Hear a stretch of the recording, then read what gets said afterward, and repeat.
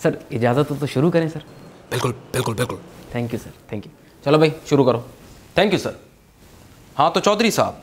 ओ hello तमीज़ नहीं है बात करने की। ओ सर कह के मुखातिब करो। सर मुलजिम है सर यार तुम्हें इतने साल हो गए हैं प्रैक्टिस करते हुए। आज तक तुम्हें गरीब और अमीर मुलजिम में फ़र्क नहीं समझ आया।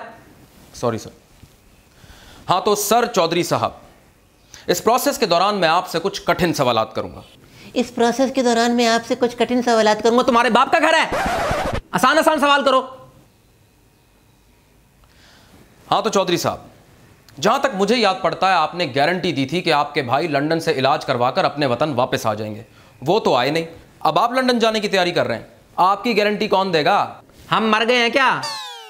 मैं गारंटी दूँगा। सर आप कैसे गारंटी देंगे? यार रमज़ान का महीना है। कुछ तो शर्म करो। उनका कोई नहीं है पाकिस्तान में। सब लंदन में है। मैं उनका सहारा बनूँगा। एनीवेज चौधरी साहब आप पे करप्शन के संगीन तरीन इल्ज़ाम हैं।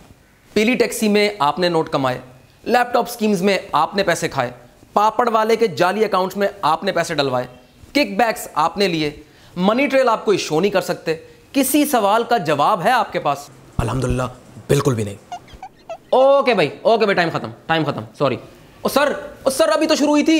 यार एक तो तुम्हारे केस में बिल्कुल जान नहीं है। दूसरा ये कि मैंने अफ्तारी पे जाना सर अभी अफ्तारी में सात घंटे पड़े हुए हैं। मेरा चिड़ी रोजा है भाई। तमाम सबूतों और गवाहों को साइड पर रखते हुए मैं हुक्म देता हूँ कि चौधरी साहब को शहाना प्रोटोकॉल में सरकारी जेट पर अपने भाई के पास लंदन भेजा जाए। बेहतरीन बेहतरीन। Sir that's not fair sir